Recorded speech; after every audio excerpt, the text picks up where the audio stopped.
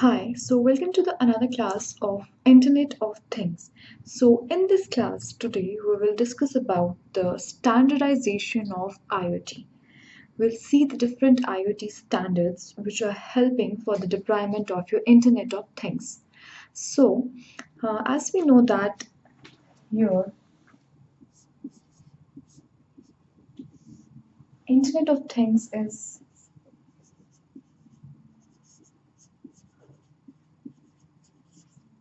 anything? Plus any time.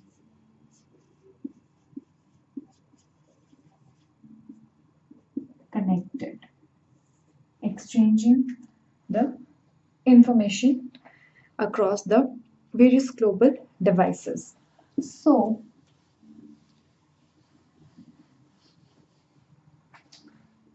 the ICT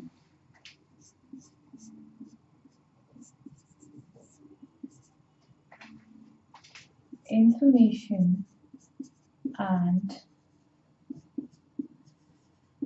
communication technology is working day by day to uh, make together the various embedded devices ranging from like sensor devices to collect various information. So that the information which is collected that is being exchanged across these sensor devices here.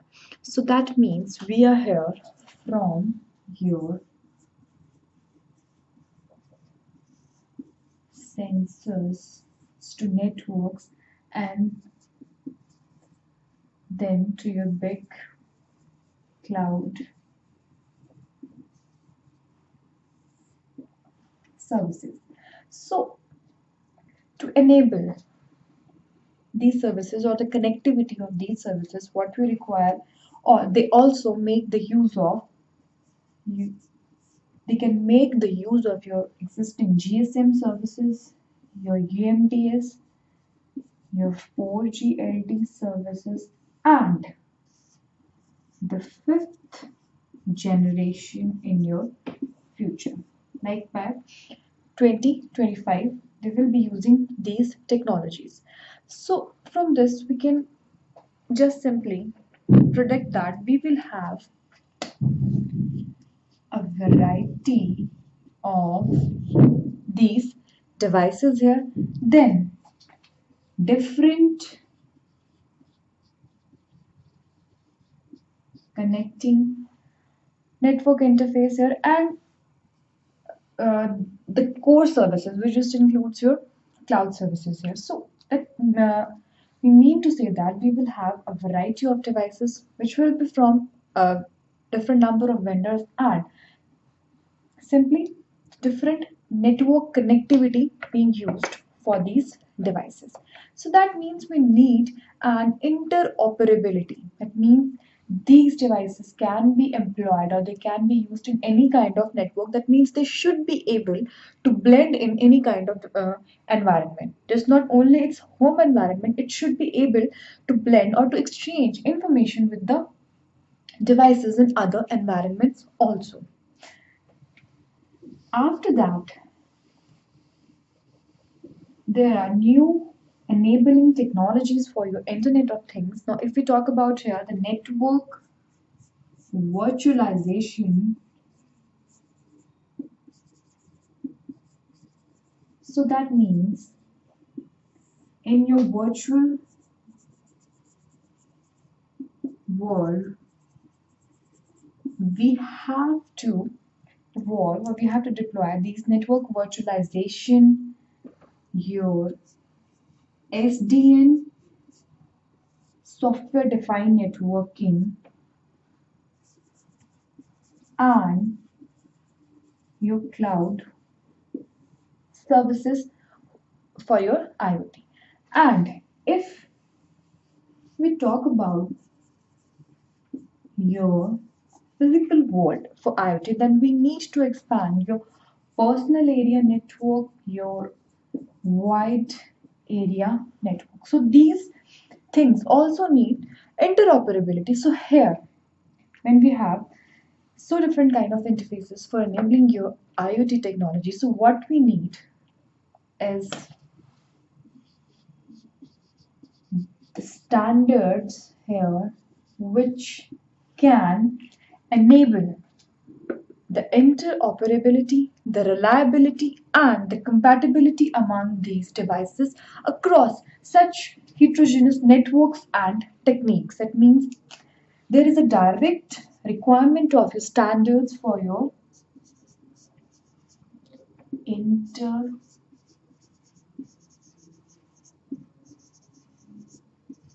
operability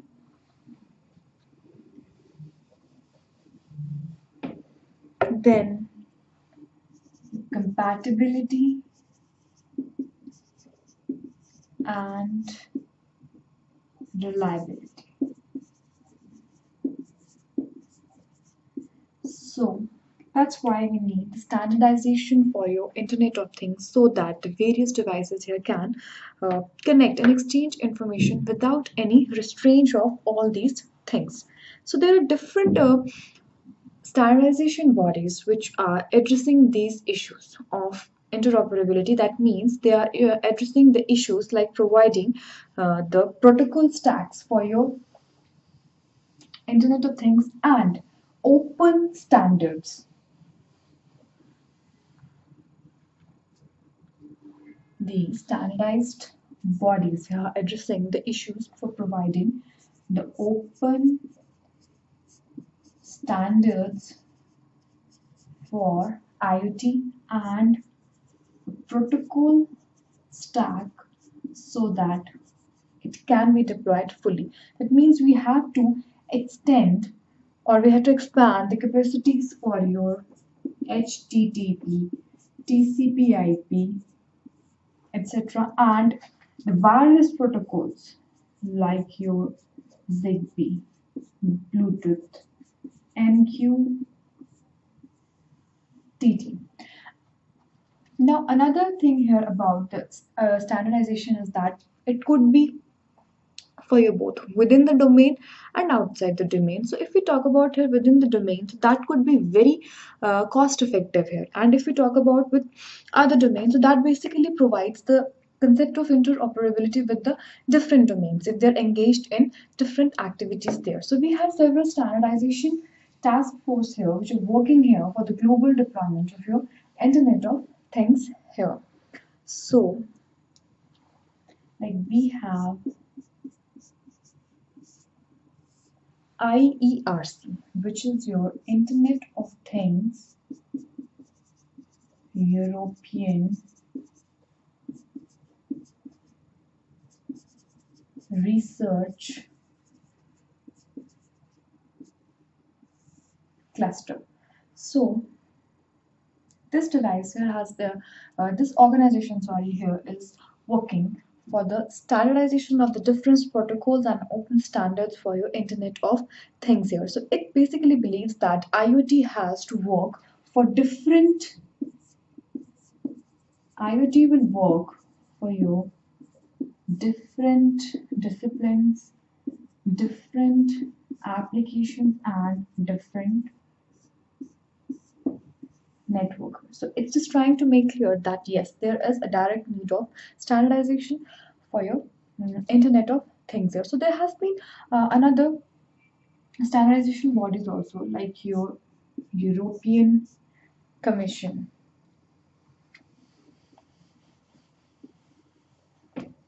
EC, European Commission, ET, IEEE, 3GPP, ISO, and uh, after that your IOC with IEC and CEN and CEN like these organizations are here working for making the open standards for your internet of things here. So there has been standardization of some uh, devices like your smart grid standardization. And above that, we also have your standardization for your smart vehicle control also so that these various devices can interoperate among different kind of environments here. So we'll just see that how these organizations are making this global deployment for your Internet of things here. Now, like we have this standard organization body here which is your um, European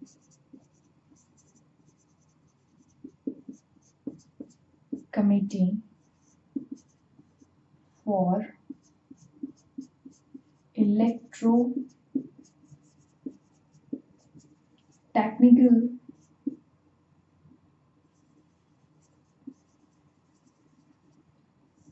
Standards. So now what this organization has been doing, this organization is basically trying to integrate the sensor data or this is working here for the standardization so it could make some standards which could do what integrate the sensor data from various devices integration of sensor data from various devices to the existing barcodes or your RFID technology so that their performance can be improved. So that means it's working here for your uh, data capturing standardization. After that, it also works for the integration of your data concept, object data uh, concepts with your application so that their efficiency here is increased. So integrating the sensor data and object data concepts into your different applications. Like if we have vehicle control applications or uh, traffic control applications so they just have to integrate this data into those applications. So this part of uh, this integration of this data is basically commissioned by the technical uh, committee of your CEN here. Now after that the next one which we have is your ISO ISC which is your finally forming a GTC or so as we know, uh, know that ISO is International Standardization of Your Objects and this is your International Electrotechnical Commissions which has basically formed a joint or this is basically referred as a joint technical group uh, which has formed this SWG which is a special working group 5. Now what is the purpose of uh, this particular group? This particular group is working here to see the gaps of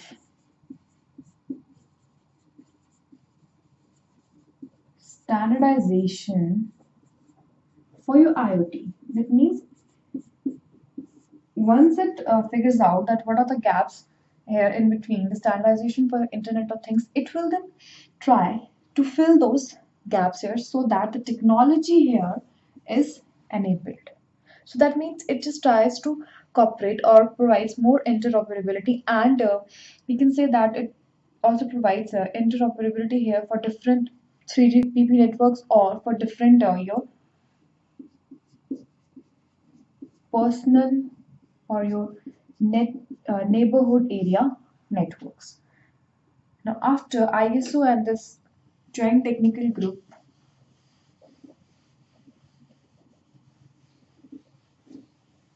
we have third one which is your ETSI which is your European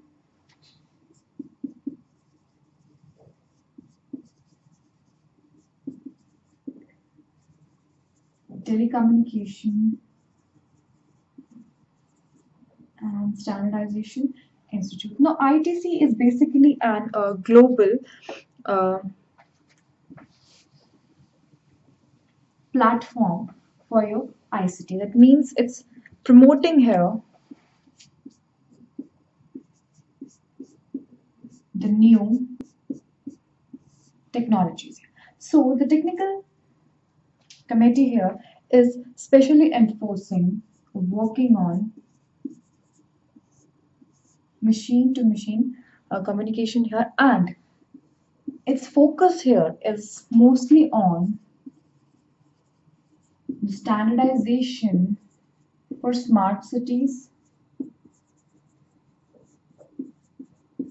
smart transportations, and then enabling this machine to machine communication here and also working for interoperability across the 3GPP standards and your LAN and WAN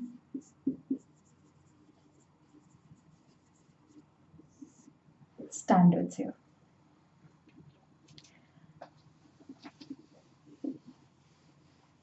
Then we have next one IEEE, which is your Institute of Electrical and Electronics Engineers. Now IEEE has it states that Internet of Things is going uh, to transform the life. So that means it has a or we can say that by seeing the potential of Internet of Things and the benefits from it, it has also directly implied that standardization, a global standardization for Internet of Things is a must here. So the IEEE, uh, your uh, Internet of Things is also uh, using here IEEE standards like your IEEE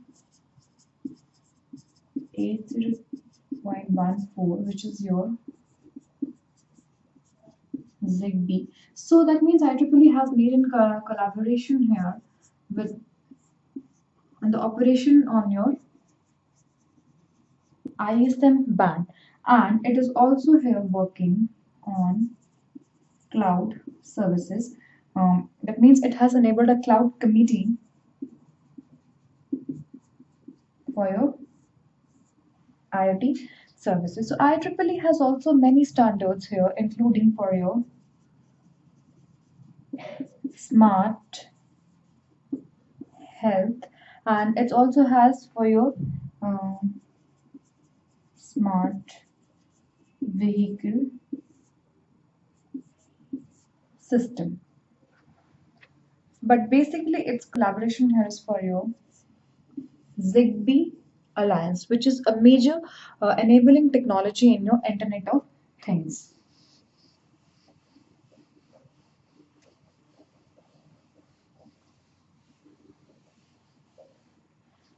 Next, we have IETF.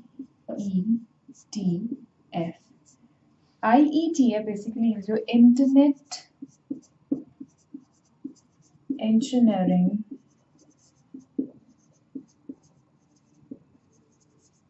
Task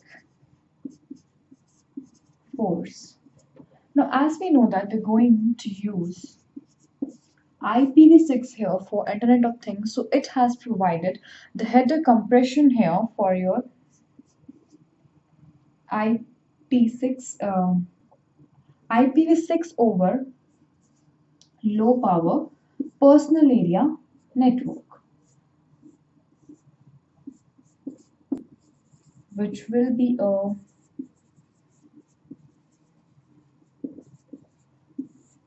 global standardization as this standard here is promised that every device here should be connected to and every uh, device is supposed to be connected to your internet. That means it will have an ip address here. After that we have itu which is your another sector which is working for the standardization of your iot things since 2005. So this basically works in the field of uh, network aspects. That means like your radio frequency identification tasks here. It has uh, basically dealing with the uh, network as uh, aspects and standardization. Now above that, open mobile Alliance has also been working for standardization so that the various devices can get connected and interact in an environment. Above that, 3GPP has a major standard for IoT and it is proposed to cellular internet of things which is a growing and demanding topic in the industries these days. So there has been a number of releases of these standards for your cellular internet of things like for your LTM that is your long-term evolution machine to machine version. Then it has ECGSM, which is your extended coverage based on GSM. Then it has narrowband LTE. So these technologies here will be in your cellular IoT.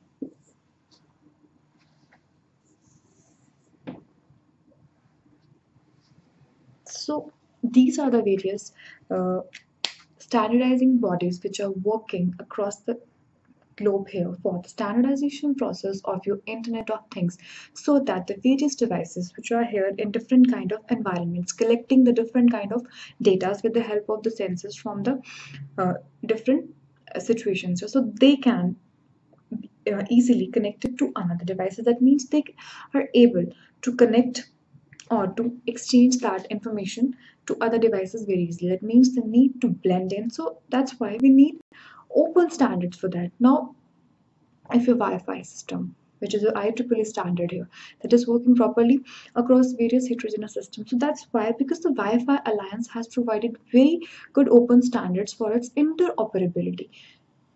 The cellular networks. The success of these things are here just because of these standardization process. So for a large scale deployment of your internet of things we also require the standardization so there are different standardization bodies which are like working here from sensor to your cloud services so in this class we just have studied about the various standardizing bodies which are working for the iot deployment. So this is all here for today's class. We will be studying more about your internet of things in our further sessions. Thank you so much